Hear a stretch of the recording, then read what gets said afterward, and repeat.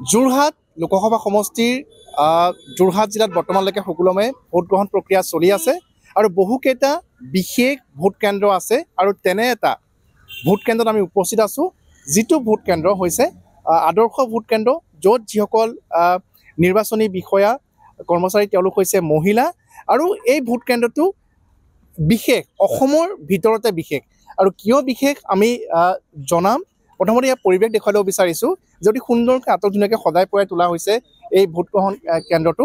আৰু যিসকল লোক ইয়ালৈ আহে যদিহে শাৰীৰিকভাৱে অসুস্থ বা বিশেষভাৱে সক্ষম লোক আহে তেওঁলোকৰ বাবে এনেধৰণে আমি দেখুৱাইছোঁ যে হুইল চেয়াৰ ইয়াতে আছে আৰু বহিবৰ বাবে এনেধৰণৰ ব্যৱস্থা কৰা হৈছে আৰু আটক ধুনীয়াকৈ সজাই পৰাই তোলা হৈছে আৰু যিসকল লোকে ভোটদান কৰি আহে তেওঁলোকৰ বাবে এনেধৰণে ছেলফি মাৰি মাৰিবৰ বাবে ব্যৱস্থা কৰি দিয়া হৈছে কিন্তু এই আহ, ভোটগ্ৰহণ কেন্দ্ৰটো কিয় বিশেষ?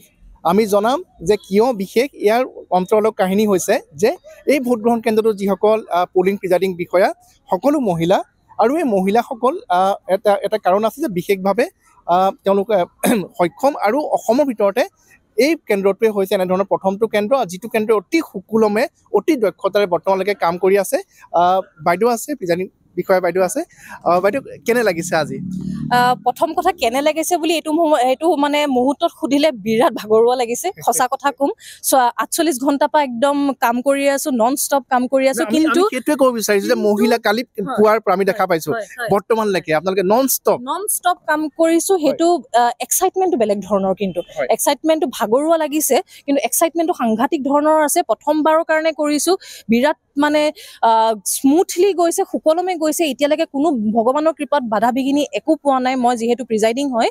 আৰু সেয়াই অনুভৱ একদম মিক্স আছে বুলি ক'ম। হয় আৰু দ্বিতীয়তে এই ভোট ভোট গ্ৰহণ কেন্দ্ৰটো হৈছে অসমৰ ভিতৰত এটা এটা বিশেষ ভোট কেন্দ্ৰ। হয়তো অসমৰ ভিতৰত প্ৰথম। অলপ ক'ব নেকি? বিশেষ বিশেষ মানে কি? আমি চক আমি সকলোৱে বিশেষ। আমি প্ৰতিজন মানুহে বিশেষ। কোনো হয়তো বেলেগ ধৰণে হয়তো কোনোবা চিনেমা এক্ট্ৰেছ হয় কোনোবা হয়তো ৰকেট চাইন্স হয় আমি বেলেগ ধৰণে বিশেষ। তেনেকে যদি বিশেষ বাৰী আমি এটা কেটেগৰাইজ কাকো কৰি দিব নোৱাৰোঁ কিন্তু হয়তো আমাক এটা কি বুলি ক'ম? এটা বেলেগ ধৰণৰ আমাৰ বাউণ্ডেৰীত ৰাখে। সেইটো হ'ল মই এক- একদম মানে গৌৰৱেৰে ক'বলৈ বিচাৰিছোঁ সেইটো হ'ল স্পেচিয়েলি এবল স্পেচিয়েলি এবল মই সেইটো কাৰণে কৈছোঁ আৰু মই বহুত প্ৰাউড হয় বহুত গৌৰৱান্বিত অনুভৱ কৰোঁ। কাৰণ মোৰ আটাইকেইগৰাকী অফিচাৰ ইনক্লুডিং মি আমি গোটেই কেইগৰাকী এই specially very very specially able category বুলি নকওঁ মই এই বাউণ্ডেৰীটোৰ ভিতৰত পৰোঁ। আৰু হয়তো মই আপোনালোকক জনাবলৈ পাই সুখী হৈছোঁ ইমান সুন্দৰভাৱে তেওঁলোকে কাম কৰিছে।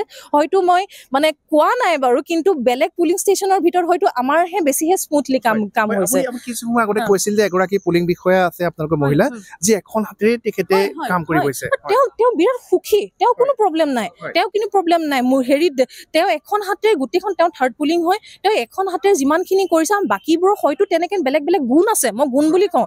এখন হাতেৰে কাম কৰাটো হয়তো আপুনি মই কৰিব নোৱাৰো। তেওঁ সেইটো গুণ হয়। সেই গুণেৰে তেওঁ ৰাতি ওঠৰ তাৰিখৰ ৰাতিপুৱা সাতটা বজাৰ পৰা মোৰ লগত কণ্টিনিউৱাছ কাম কৰিছে। আৰু সেই বিশেষ গুণটো হয়তো ভগৱানে তেওঁক বেছি ভাল পাই কাৰণেহে দিছে। আমি দেখি আচৰিত হৈছো যে বিশেষকৈ মহিলাসকলে এবাৰ যোৰহাটত যোৰহাট বিধানসভা সমষ্টিত যোৰহাট নিৰ্বাচনী জিলাত যোৰহাট নিৰ্বাচনী জিলাত আঠাইছটা মহিলাৰ দ্বাৰা পৰিচালিত ভোট কেন্দ্ৰ আছে আৰু তিতাবৰ নিৰ্বাচনী জিলাত চল্লিছটা ভোট কেন্দ্ৰ আছে আৰু তাত যিসকল মহিলা নিয়োজিত হৈছে তেওঁলোক অতিকৈ উৎসাহী আৰু কালি আমি যেতিয়া কথা পাতিছিলোঁ তেতিয়া বহু মহিলাই কৈছে যে আমি তেওঁলোকৰ ৰিজাৰ্ভত আছে।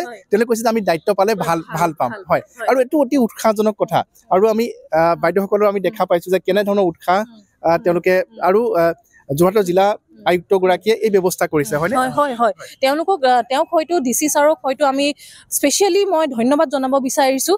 এইটো কাৰণে ধন্যবাদ জনাব বিচাৰিছোঁ যে আমাক ৰিজাৰ্ভত নাথাকিলে। কাৰণ এইটো এক্সপিৰিয়েঞ্চ হয়তো ওৱান ইন লাইফ টাইম বুলি ক'ব পাৰি। সেই এক্সপিৰিয়েঞ্চ কৰিব দিছে আমাক অনুভৱ কৰিব দিছে বিপদ বিঘিনি যিয়ে নহওক টেকেল কৰিব দিছে। আৰু প্ৰথম কথা এজন পাব্লিক ছাৰ্ভেণ্ট হৈ পেলাই পাব্লিকৰ কাৰণে পাব্লিকৰ ক্ষেত্ৰত কেনে কেনেধৰণে কাম কৰিব লাগে সেইটো হয়তো আমাক শিকিবলৈ বাধ্য কৰাইছে আৰু এটা প্লেটফৰ্ম দিছে। হয়। হয়। প্ৰিজাইডিং বিষয়া বাইদেউ হৈছে যোৰহাটৰ জে বি কলেজৰ ইংৰাজী বিভাগৰ সহকাৰী অধ্যাপক অধ্যাপিকা। আৰু বাইদেৱে এই কথাটো ক'ব বিচাৰিছে যে যে বিশেষভাৱে সক্ষম বা সেই তেনেধৰণৰ কেটেগৰাইজ কৰিব নালাগে। কিন্তু এইটো প্ৰমাণ কৰি দেখুৱাইছে যে তেওঁলোক মহিলা হোৱাৰ পাছতো মহিলা বুলি নহয় দাদা মহি- মহিলা বুলিও মহিলা বুলিও আমাক মহিলা বুলিও নহয় মহিলা যে বুলি চ- নধৰিব। আঠ- আঠচল্লিশ ঘণ্টা সম্পূৰ্ণ হ'বগে হয়নে? আঠচল্লিশ ঘণ্টা আমি যে- আজি ৰাতি কেইটা বাজে নাজানো হয়। কাৰণ কিমান আছে আমাৰ এতিয়া যিহেতু কৈছো ফিফটি ফাইভ পাৰ্চেণ্ট কমপ্লিট হৈছে। Four eighty total voters two fifty six মই কমপ্লিট কৰিছো ফিফটি ফাইভ পাৰ্চেণ্ট হৈছেগে। তো এতিয়া ৰাতি কেইটা বাজেগে নাজানো আমি কাম কৰি যাম। কাম। কৰি যাম এনেধৰণে কাম কৰিম যাতে এই ইলেকশ্যনটো এই মানে একদম স্মুথলি সৰলভাৱে সুন্দৰভাৱে হৈ যাওক তাৰ কাৰণে ভাগৰুৱা হ'ব কাইলৈ দিনটো শুম লাগিলে পৰহিলে শুম কিন্তু আমাৰ কোনো সেইটো হয়তো পৰি নাযাওঁ। মহিলা বুলি সেইটো আমি নহয় বা আমি। স্পেচিয়েলি এবল বুলিও নহয় মানুহ হিচাপে চৰকাৰৰ কাৰণে দেশৰ কাৰণে কাম কৰিম হয় ধন্যবাদ জনাইছো আৰু ইয়াকে ইয়াৰ বাবে কোৱা হয় গণতন্ত্ৰ উৎসৱ নিৰ্বাচনক আৰু আমি দেখুৱাইছো যে ইয়াত যিসকলে ভোটদান কৰিবলৈ আহিছে বা ভোটদান প্ৰক্ৰিয়াত যিসকল বিষয়া নিয়োজিত হৈ আছে তেওঁলোকে এই কাম কৰি অতিকৈ গৌৰৱ অনুভৱ কৰিছে। আৰু এইবাৰ যি নিৰ্বাচন আমি দেখা পাই আহিছো যে চৈধ্য চন তাৰপিছত ঊনৈছ চন আৰু এইবাৰ চৌবিছ চন যে এক বিশেষ মাত্ৰা লাভ কৰিছে যে ৰাইজ যিটো উদ্যমেৰে ভোটদান কৰিবৰ বাবে আগবাঢ়ি আহিছে চেলফি তুলিছে তেওঁলোকে তেওঁলোকে ছ'চিয়েল মিডিয়া প্লেটফৰ্ম আপলোড কৰিছে আৰু যি ধৰণৰ প্ৰক্ৰিয়াৰে যে মহিলাৰ দ্বাৰা গঠিত বিশেষ ভোট কেন্দ্ৰ আৰু নিৰ্বাচন আয়োগে বিশেষকৈ ভোটাৰসকলক আকৰ্ষণ কৰিবৰ বাবে বিশেষ বিশেষ পদক্ষেপ গ্ৰহণ কৰিছে আৰু তাৰ আমি সুফল আমি দেখা পাইছোঁ আৰু যোৰহাটতো আমি দেখা পাইছোঁ যে এটা বিশেষ ভোট গ্ৰহণ কেন্দ্ৰ যিটো কেন্দ্ৰই বহুতৰে দৃষ্টি আকৰ্ষণ কৰিবৰ বাবে সক্ষম হৈছে।